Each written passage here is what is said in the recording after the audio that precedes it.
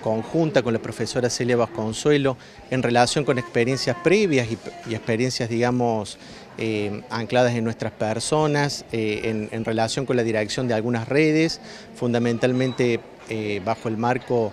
de, de, algunas convocatorias del programa de internacionalización de la Secretaría de Políticas Universitarias. En ese sentido, conversábamos en muchas oportunidades acerca de la necesidad de institucionalizar este tipo de trabajo y así fue naciendo la idea de, gestión del centro.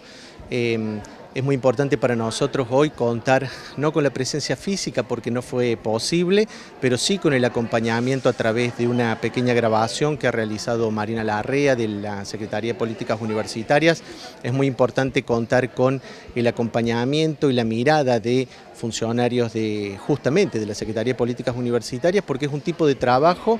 que efectivamente proyecta la universidad internacionalmente, aunque el trabajo de redes, como vamos a exponer hoy, va muchísimo más allá de lo que puede ser una estrategia de internacionalización de la educación superior. Eh, justamente a partir de diversas temáticas, como vamos a exponer hoy, por caso el español como lengua segunda y extranjera, digamos, luego del abordaje de algunos proyectos que han tenido que ver con, eh, con el estudio del español como lengua segunda y extranjera desde una perspectiva estrictamente disciplinar, hemos pasado a considerar esta temática desde otras perspectivas. Una de esas perspectivas justamente tiene que ver con lo que se denomina el turismo idiomático,